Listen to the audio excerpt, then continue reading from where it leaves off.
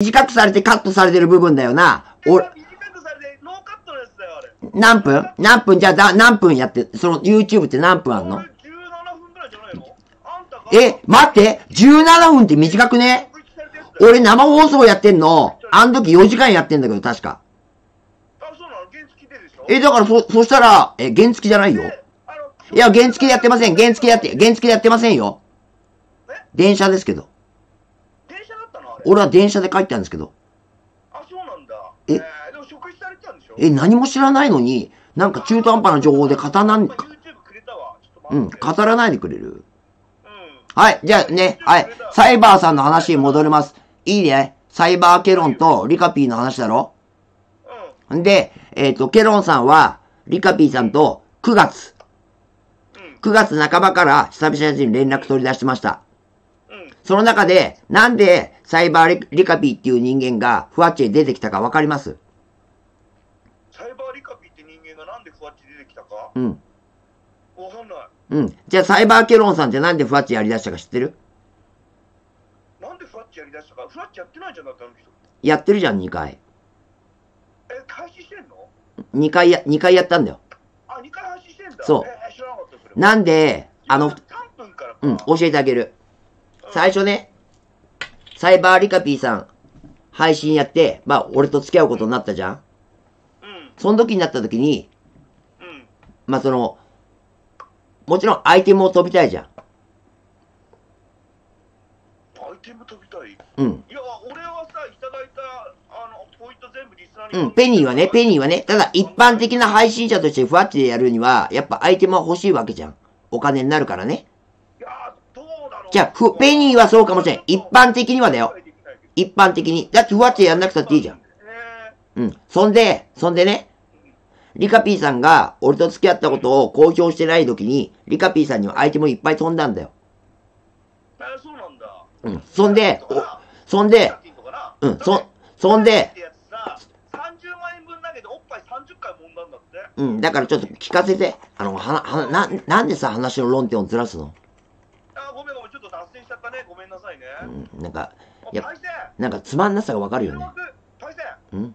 こっちの枠1000に行くと思う。おーすごいね。よかった。俺のおかげだね。んおで。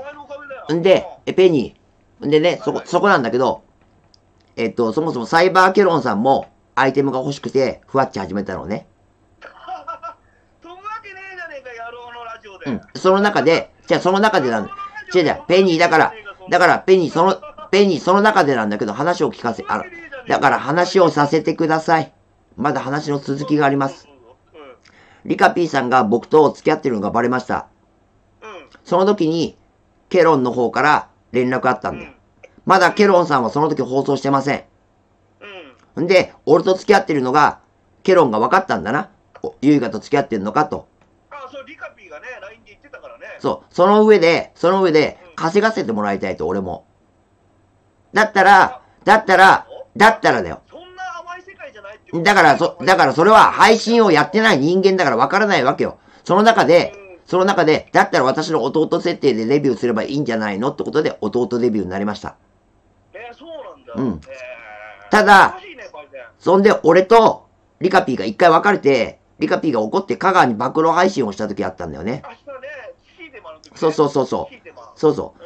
うん。そこまでで、本当は、俺とリカピーの付き合いっていうのは、ケロンの中では終わる予定だったの。ああ、そうだろうね。うんリカピーが有名になったからね。でも、リカピーは本当に俺のことを好きだから、別れないで付き合うよ、継続。なんで、なんでそこ確信できるの？え、だから、ここから説明する。うん。俺と、え、リカピーがだから、だから、説明するから、おい、黙ってろ。なんでこいつ被せんの詐欺師にさ言われおい、ミュートンするよ。お俺の話説明聞かないんだったら。ああ、いいよ、聞いてやるよ。うん。聞いてやるじゃなくて、俺の話を聞けって言ってんだ。あいいよ、聞いてやるよ。うん、過疎な。んでな、だだから、ちょっと待って、俺その前に言われて。あんな結婚詐欺師のハニートラッパーに言われて真に受けちゃうの？お前は。うん、でも、まあ、違うんだよ。真に受けちゃうんだな。違う違う違う。まあ、いいんだよ、どうでも。あのさだから、とりあえず、とりあえずいいや。話聞かせ、あの、話さ言わせて。俺まだ話続いてんのハニートラッパーのうん。孫いる設定、刑務所設定、結婚、あの、年うん出任せ言ってた女の言うこと信じるんだろ、お前は。うん、信じる信じないじゃなく、とりあえず話をだから信じちゃってんだろ違う違う違う。あの、ペニー、ペニー、ペニー、ペニー、ペニー。それは最後の締めにして。うん。うん、まださ、話の説明してるから。そうでしょ？わかる？うん。んでね、ケロンさんは、そこの香川、えー香川の暴露で、俺と。リカピーの付き合いが終わると思ってたの。うん。そんで、全部、えーペ、あの、なんだっけ、ケニーの、あ、ケニーじゃなくて、なっけ、誰だっけ、えっと、ケロンか。ケロン。うん。ケロンのある程度台本の部分もあったわけよ。うん。だ、だったんだけど、リカピーが俺のことを好きになってしまって、本当に好きになってしまって、そのまま継続して付き合ったことによって、なんでお前ばっかアイテム飛んで、俺にはアイテム飛ばないんだ。俺はいつになったら放送デビューできるんだって、揉めたんだよ。リカピーとケロンが。まあ、ちょっと、ちょっといい？うん。だから、ララジオだろ、ケロンさじゃあ、ら、じゃあ、聞いて。ん。うん。だから、そう、ケロンは簡単にインターネット生放送でお金が稼げると思ったの、まずな。ううん。それはリカピーがお金を稼いだから実際に。うん。で、稼げると思ったの。ただ、俺とリカピーは継続的にそのまま付き合ってしまった。仲直りして付き合ってしまった。話が違うじゃねえかっていう話になったんだよ。なんでお前だけ金稼げて、俺はね、いつまで経っても放送ができないんだってなったんだよ。うん。そこであいつは枠を開いたんだけど、うん。結局閲覧が一桁台。そりゃそうだ。うん、そうそうそう、そうなんだよ。そこで、わけねえじゃん。うん。結局簡単に言うとね、簡単に言うと、そんな考え甘い話あるうんうん簡単に言うよ。そうそうそう、ペニー。簡単に言うとな、サイバーケロン。サイバーケロンな。うん。二つある。問題が。何？これ悪口じゃないぞ。まず一つな、リカピーのことが好きなんだよ。ああ、だろうな、LINE でも言ってたもんな、うん。もう一つ、うん。お金に困っている。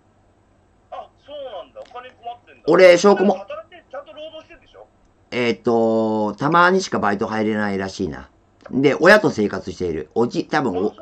そんで、そんでなんだけど、俺、あの、ちゃんとキャップ持ってんだけど、悪い仕事にも手出そうとしてた。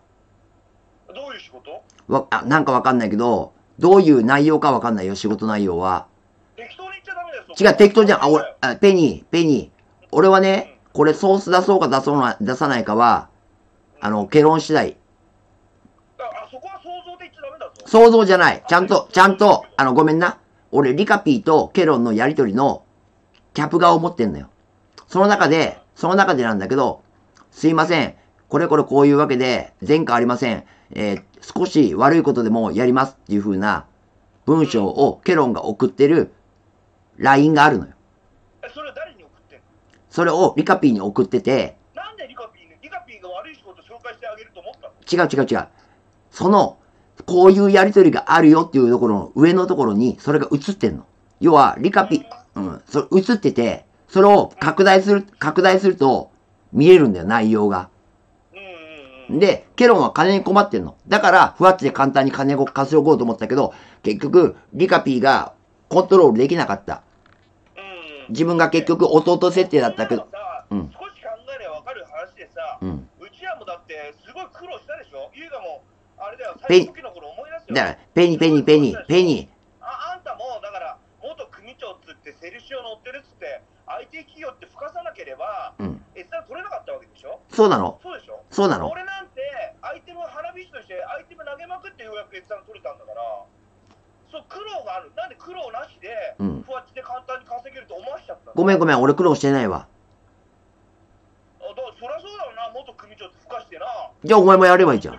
えーじゃあ元組長、じゃあ、じゃあ、じゃあさ、元組長、じゃあ元組長ってデビューして、ね、ここまで成功した人間いるのかよ。9年やってるけど僕。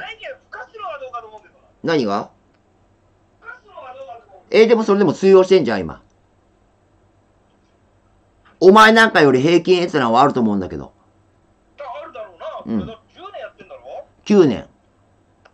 うん。9年。うん。9年も10年も一緒だよ。え？俺なんてまだ2年半だから。だろ ?2 年半だろ ?9 年これを維持してるってことと、たった2年ぐらいのペイペイが何言ってんだって話だけど。あ、そうなんだ。当たり前。え、ペニー、ペニー、ペニー、お前もさ、うん IT 企業の社長だって言えば、うん。やってみてよ。えちょ、やってみてよ。ーできるななんでさ、うんそんな嘘ついちゃったの？ちょちょ、やってみてよ。違うじゃん。じゃあなんでそういう嘘をついたの？っていう話じゃないじゃん。お前が、い、お前が今出した話だぞ。じゃあお前が出した話じゃん。ヤクザの組長だって言ったりとか、な、セルシオ乗ってるって言えば有名になれるんだって言ったんだからやってみてよ。それで閲覧稼いでみてくれよや。んねえそんなだからできねえんだろプライド、でき、プライドある人間がこんなインターネット生放送なんかやらねえよ、バカ。バカ面下げて。バカじゃないの？一緒だろ？え、お前覚醒剤をやってましたみたいなこと。お前覚醒剤をやってましたみたいなことをタイトルにつけて放送されちゃって。え、恥さらしてんじゃん。どこ、プライドどこ行ったんだプライドどこ行ったんだよ、プライドは。何？元ポンチュなんだよ。あ、すいません。あすいませんねすいま、すいませんね。すいませんね。うん。うんそれはごめんなうん。それはもっとごめん。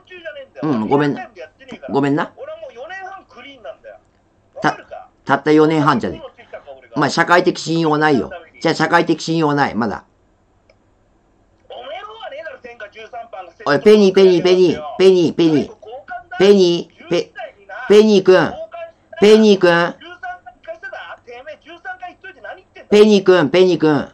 社会的信用というのはね、これ民事裁判の判例で出てるんだけど、5年経つと社会、違うよ。ペニーくん、ペニーくん、話を聞きなさいよ。発狂しないで。怒らない、怒らない。あ怒らないうんごめんなさいごめんな。ペニーくん、これはな、民事裁判で判例で出てるんだけど、社会的信用というものは、最後の懲役を務めてから、もしくは刑期が確定して、えー刑期を満了してから、5年間という風にこれは判例が出てるんです。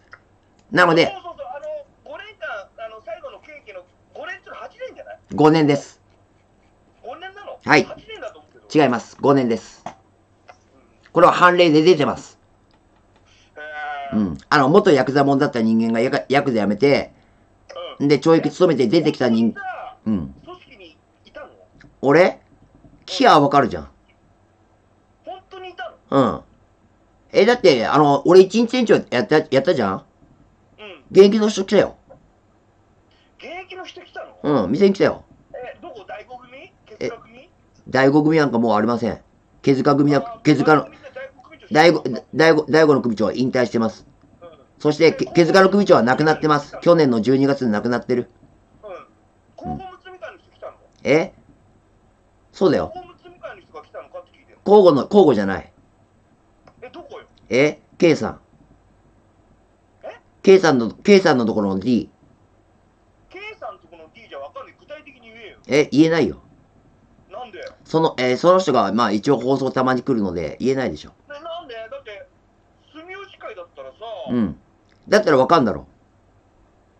だだってなん君が属したのは毛塚組と、うんえっと、大悟組と山内組だっけ？うん、そうだね。まあ順番、順番が違うけど。毛塚組っての毛塚連合じゃなかったっけ毛塚連、毛塚連合になったり、まあ、け最終的には毛塚連合だったけど。だよね毛塚連合だよね、うん毛塚組じゃねえよな毛塚組は途中だよ。途中っていうか、あのー最初ずーっと毛塚組だった。うんん、それで毛塚連合になったのは途中から。途中からなんでなったの？毛塚連合毛塚連合、あのー他に、な、何々連合って、あのー公平さんのこどころであって、それで、その組長と仲良くて、毛塚連合っていう連合、要は、組自体が小さいから、うん友好団体を作るために連合っていうのを作ったの。ああ、うんそれが住吉会系なんだそうそうそうそうそう。高校結び会の下ってことね交互結び会の下、まあ、交互結び会って、まあ、実際、毛塚さんのところは、第五組の下だね。第五組内毛塚組だから。あ大悟組ね毛塚組そうそうそうそうそうそうんう。うん。うん。その前科13杯やってるってそのキューピーさんにめくられてたじゃんうん。あれは全部嘘。全部嘘なの？全部っていうか、まあ、本当の部分もあるのか。な何割本当なの？うーんと、俺も全部見てないのでは、ちょっとわからないんだけど、はったりあの、10 17歳でえっとなんだっけ？ちょっと待ってうん。みんなちょっと犯歴出して、ユイガの犯歴。俺の、俺の、俺が最初に、最初にね、少年院入ったのが16歳。17じゃないの？16歳です。?17 じゃないの？16だっつってんの。?16 なの？16歳。刑務所じゃなくて少年院だろ？少年院、キツレ川少年院ね。うん。うん、中東少年院。じゅうん16ですね。で、ほんで出てきて、うん。もう俺、その頃から出入りしてたんで、やうん、山内さんのところに出入りしてたんで、うん。で、戻、え戻って、うん。そんで、えっと、16歳の時に、占有離脱物横領およびうん、中中東少年院装置。ノーですえ？ノーです。足り、えっと、罪が足んないです。占有離脱物横領と傷害です。うん。あ、障害なんだ。はい窃盗、19歳。ノーです。えっと、これ不起訴になってるよね。ノーです。オートバイ。じゃ、ノーです。俺もう懲役いってます。次の傷害罪じゃないの？違う違う、僕、18歳から、18歳から刑務所入ってんで。18歳から刑務所入ってる。はい。水戸少年刑務、18歳って刑務所入れるの？え？水戸、水戸少年刑務所っていうのがあるんですけど、少年刑務所というのは、少年刑務、えっと出てきて、21歳で、道交法違反及び窃盗。ノーです。え、違うの？あの、僕、刑務所から出てきたのは23歳なので。?23 歳はい。なぜかと言ったら、僕、あの、ちょっと、あの、説明させてね。僕、18の時、18の時に入って5年撃たれたの？お前。あの、違います。あの、少年というのは、刑期が何年というふうに打たれるよりも、その当時はだけど、不定期刑なの。不定期刑？うん。3年以上5年未満の不定期18刑。で刑務所に入って、うん。23まで入ったってことは、うん。5年入ったんでしょ？そうです。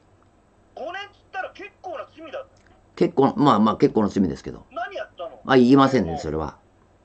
何やったの？まあそれは言えない。なんで言えないの？被害者感情があるから。だから被害者感情があるから、だから、ポえーペニーさん、被害者感情があるので言えません。